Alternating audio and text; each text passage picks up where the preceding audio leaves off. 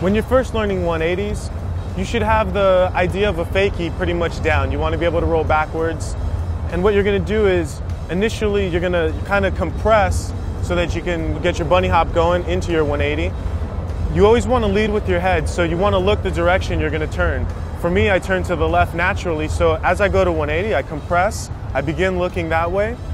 The rest of your body and your bike will follow right after. So once you're in the air, you want to kind of spot your landing. Front wheel is going to come up, back wheel comes up. You should kind of be in your tuck position at about 90 degrees halfway through. You should already spot your landing. Like I said, you're going to be looking over your shoulder, spotting your landing. As you're coming down, you can either set the rear wheel down first or kind of do both at the same time.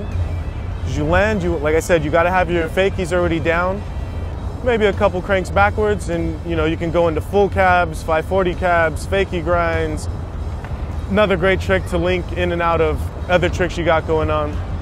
That's pretty much how to do a 180.